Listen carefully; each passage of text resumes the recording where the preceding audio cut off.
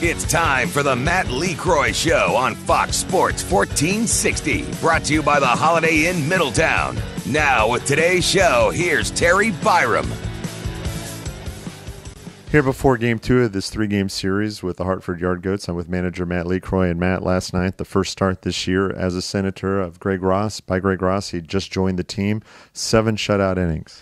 Yeah, he, he did really well. Uh, he tacked his own, mixed up his off speed. He kept him off balance. A pretty aggressive club, and uh, he did a really nice job. We jumped out on him early against a pretty uh, one of their best starters, and put some extra pressure on them. And and uh, Greg Ross ran with it, and our bullpen was pretty good.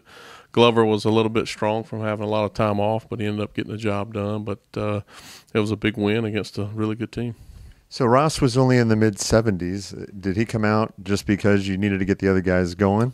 Yeah, I mean, we had uh, I had too much. Uh, a lot of my bullpen guys with Matt Belisle being here uh, had a lot of off days and had to get Lee in the game and Suero and you know Glover had a lot of days off, so uh, that was the main reason for that. But uh, he could have easily went out for a couple more innings. But uh, you know, I hate to see people get sit down that bullpen as long as they have. And in Glover's situation, I mean, that's probably the reason why he wasn't as sharp last night because he had so much time off. So, you know, I put the blame on on myself there, and and uh, hopefully get him back out there not tonight but tomorrow.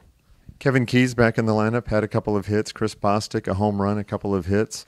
Uh, the offense last night really took it to uh, uh, Marquez early on. Yeah, early they were we were good, squaring the ball up pretty good, situational success, and then uh, he he kind of settled in and and uh, uh, showed what he's capable of doing to our lineup. But glad to have Keyes back. I know uh, he had some struggles in AAA, but wasn't playing much. And here's an opportunity for him to get going, playing here every day, and and uh, hopefully he can help carry our club. So Reynaldo Lopez is on the mound tonight. Uh, he moved up a day because of the suspended game on Tuesday, only two innings. So that's two starts for him now in the last couple of weeks that were short circuited.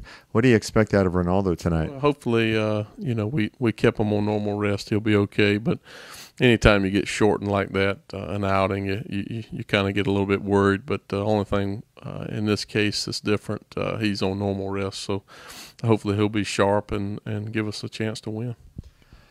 You guys, uh, we've talked about this before with the Nationals, but the Nationals are playing really well, and for the most part, they have been uh, injury free, which makes a big difference to you guys and the rest of the minor leagues. Yeah, I think uh, you know it keeps our uh, team pretty much the same, uh, barring any injuries that happen in AAA.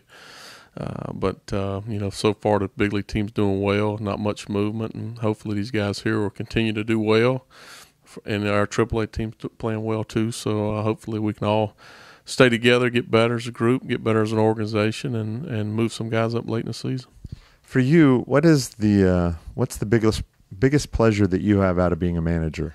Well, for me, it's uh, you know the the daily grind of these kids, what they go through on a daily basis, just to have a small impact to maybe help them uh, get to the next level, and maybe a chance to go to the big leagues. But for me, my my greatest pleasure, joy is is a telling telling a child he's going up to to the big leagues and I know it's a dream of every player in that locker room, and to be able to be the one to tell them they're going up, a special moment. You still remember the first time you did that?